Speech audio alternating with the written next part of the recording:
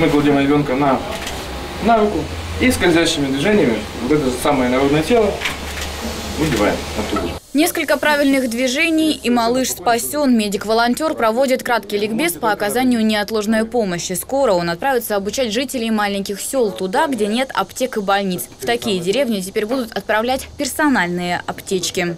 В аптечке будет находиться обычные стандартные средства первой помощи. Это обезболивающие, антигистаминные, средства для обработки ран, а также бинты, пластыри. То есть все то, что, как правило, требуется здесь и сейчас.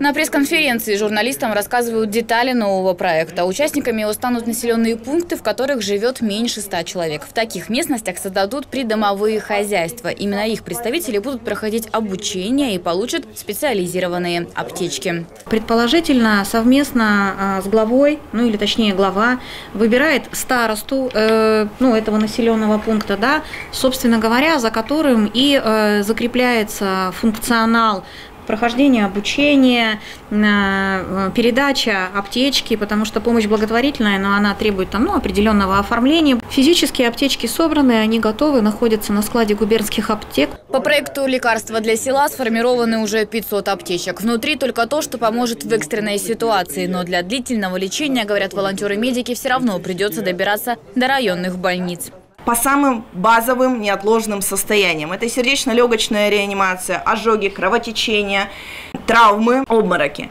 Это то, с чем может встретиться любой человек, и это, эту помощь нужно оказать здесь и сейчас.